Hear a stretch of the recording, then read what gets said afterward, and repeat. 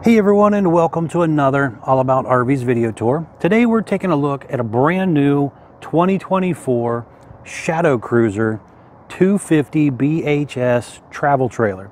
This is a one slide out bunkhouse travel trailer.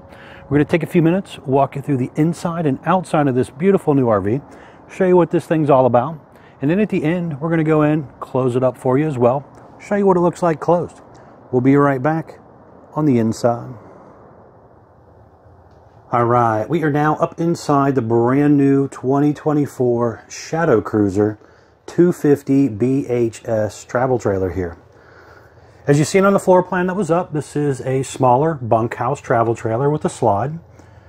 We're going to get started back here in the back section. We'll kind of work our way forward for you. So you do have two bunks back here, kind of oversized bunks. There's a light window that opens, AC duct back here. Top bunk's rated for 300 pounds. Window back there opens. Again, another light back there. And then there's some storage underneath this part down here. Back here on the right side, you have a doorknob that locks, by the way. You have your bathroom area. So up top, you're going to have a little vent fan. There's AC duct up there. Medicine cabinet decent amount of counter space for an RV bathroom. A little bit of shelf space and some storage underneath the sink there as well. You have a foot flush toilet. Step-in shower with an ABS tub surround. Pull across curtain area there. Skylight up above. Then above the toilet itself here, there's a little shelf space here with a little uh, towel holder. But not bad when it comes to a bathroom on a smaller RV. Pretty decent size.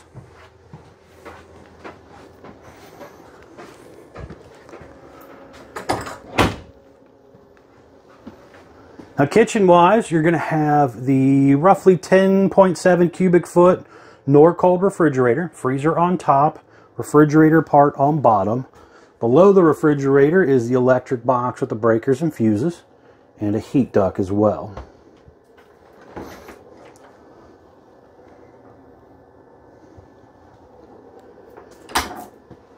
Now over here on the oven and cooktop, you're going to have a little different setup. They're using an air fryer oven. So it's a little different than your traditional RV oven that you're used to seeing. It does have the light in there. There's also a couple other little uh, cooking things that come in here as well. They're in a box. Um, you have the little light up knobs, three burner gas stove top there, and you have the little flip down glass lid so when you're not using it, you can have a little more counter space. Hood range light and fan, traditional microwave. Window back there does open. You got that high-rise faucet. Some storage up above. For your sink area, you're going to have a large undermount sink. And you're going to have some storage and drawer space below the counter as well.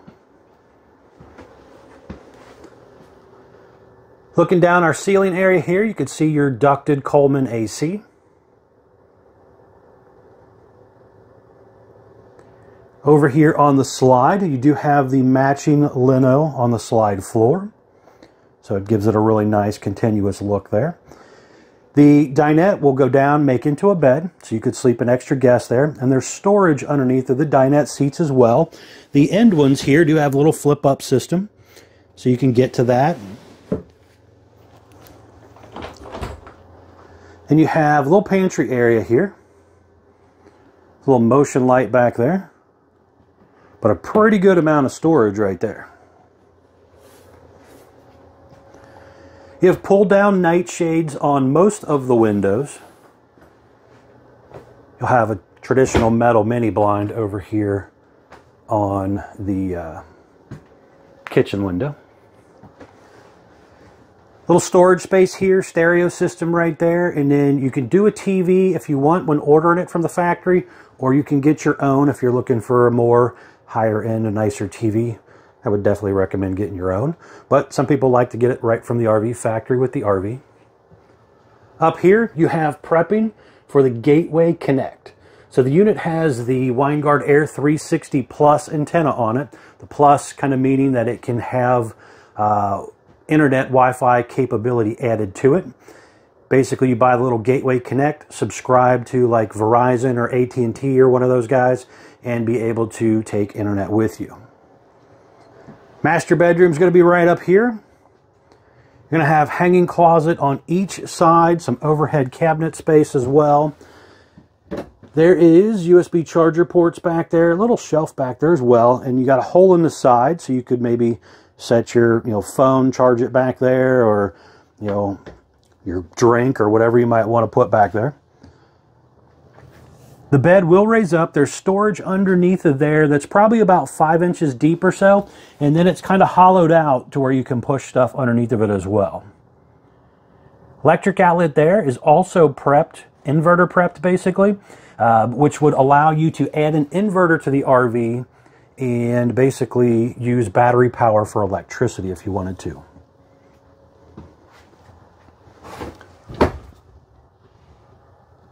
Electric outlet and uh, cable outlet up there, so you could do your small TV up here if you wanted. There's a backer kind of in between the doors here. If you wanted to kind of mount one on a swing arm, kind of sticking out a little bit. On the uh, side of the counter down there, you have your propane leak detector. There is the fire extinguisher. And then you're going to have awning in and out buttons, slide buttons, some light switches, water heater, gas, electric buttons, and your modern panel for your holding tanks and stuff. But overall, a pretty nice, um, smaller bunkhouse travel trailer.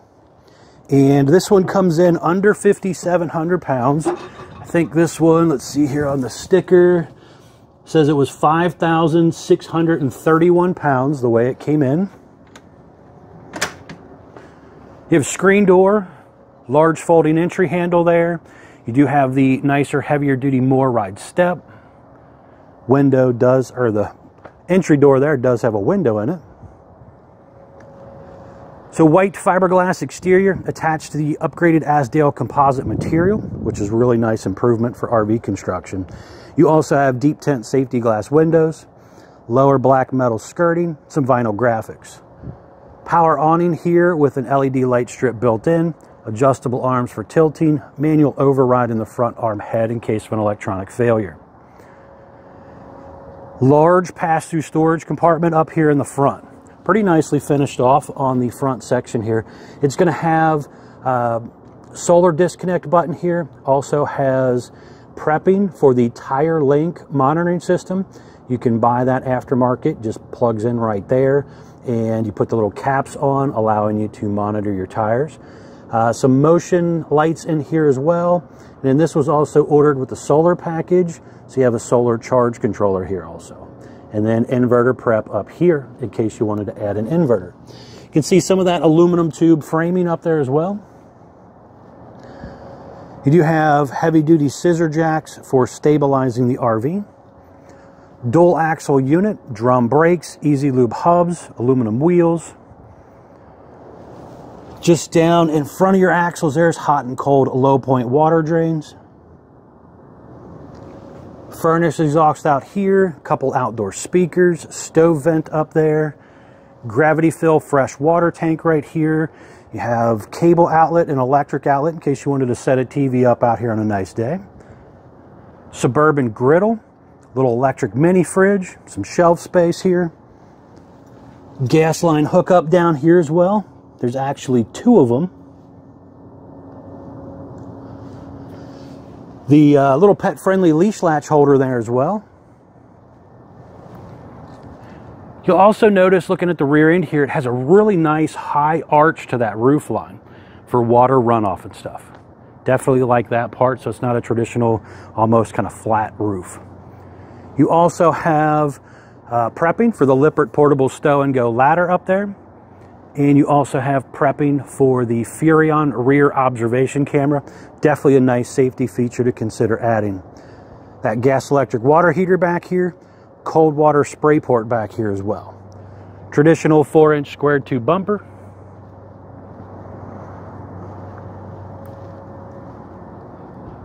On around to this side, you're going to have your dump area back here for your gray and black tank. So down there, handles are pretty easy to get to. Detachable power cord.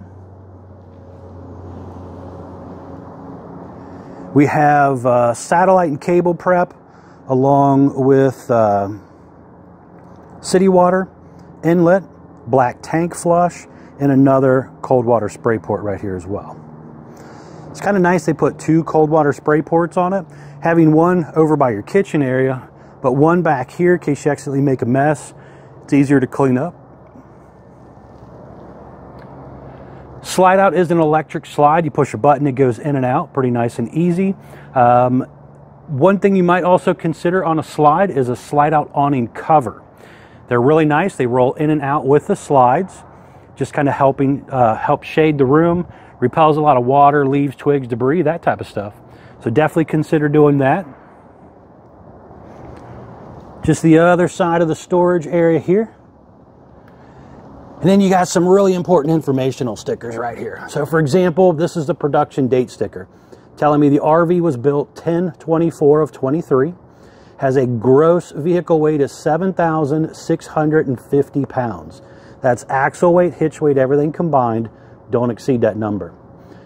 Tire sticker here telling us we have ST205-75R14D range tires with a 65 PSI cold rating.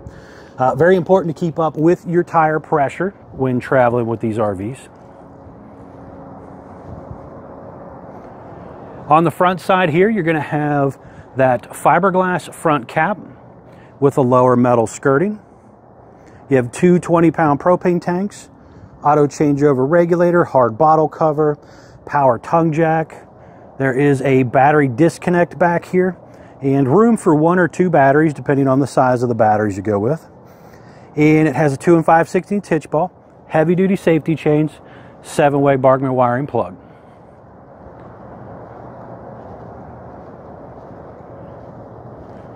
But overall, a really nice look for the new 2024 Shadow Cruiser.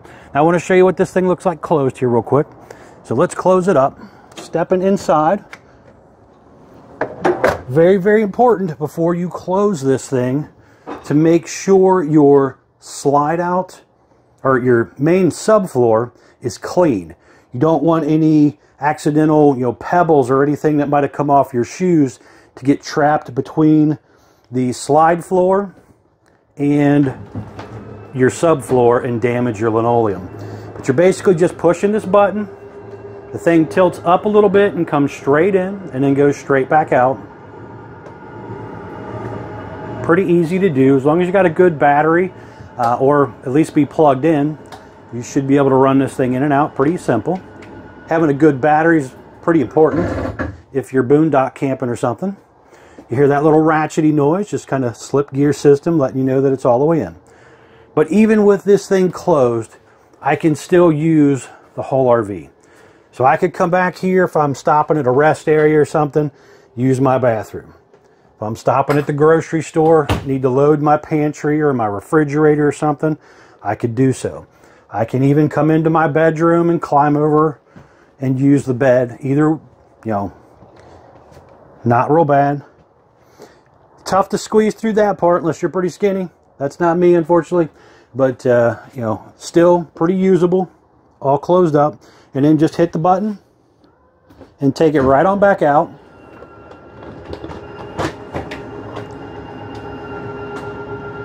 Now, as always, folks, please remember to check out the folks at Couch's RV Nation, guys.